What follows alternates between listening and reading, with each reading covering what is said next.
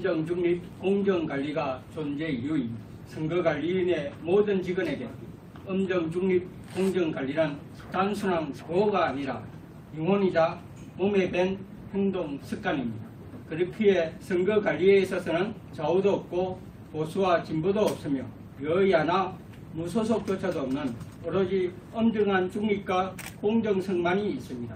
이는 선관위 모든 직원이 지향하는 최고의 가치이기도 합니다.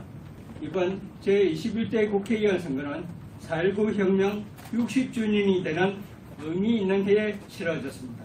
우리 위원회는 제21대 국회의원 선거를 엄정 중립과 공정관리의 자세로 유권자의 소중한 한 표한 표의 가치가 왜곡됨이 없이 선거 결과에 반영될 수 있도록 최선의 노력을 경주하였습니다. 또한 코로나19의 세계적 대유행으로 여러 국가의 선거가 연기되는 상황에서 국회의원 선거 실시에 우려의 목소리가 없지 않았으나 우리 위원회는 최고의 방역이 최선의 선거 준비라는 마음가짐으로 임한 결과 제14대 국회의원 선거 후 가장 높은 66.2%의 투표율을 기록하였고 선거에 참여한 유권자 중 단 한 명의 확진자도 발생하지 않았습니다. 그 결과 세계로부터 코로나19 위기 상황 속에서 성공적으로 선거를 치른 유일한 국가라는 극찬을 받았으며 현재 여러 나라와 선거 관리 경험을 공유하고 있는 등 세계의 선거 모델이 되고 있습니다.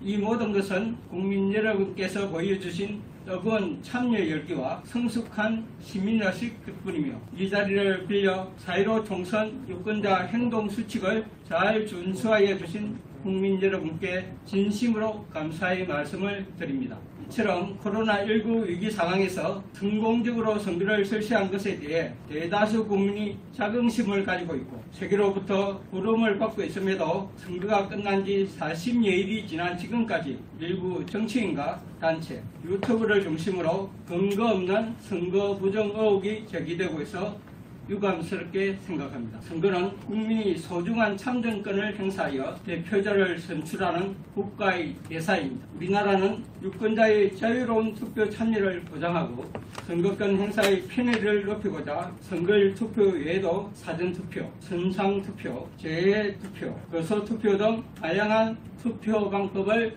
도입하였습니다. 이로 인해 투개표 과정이 다소 어려워지고 우리 위원회의 업무량도 가중되었지만 선거 절차를 공정하고 정확하게 관리하기 위해 선거 과정마다 공정성 담보 장치를 두고 법과 규정에 따라 엄정하게 관리하고 투명하게 공개하고 있습니다. 이번 국회의원 선거를 관리함에 있어서도 각 정당에서 추천한 정당 추천위원이 선거 과정에 참여하였고 정당 후보자가 추천한 18만여 명의 참가인이 투개표 전 과정을 참관하였습니다. 또한 투개표 관리는 선관위 위원 직원 외에 국가공무원과 지방공무원, 각급 학교 교직원, 금융기관 직원, 일반 시민 등 30만여 명이 참여하여 이루어졌습니다. 다른컨대 이러한 환경에서 선거 부정을 저지르기 위해서는 선거 관리에 관여한 모든 사람이 조작에 가담하지 않고서는 불가능한 일이며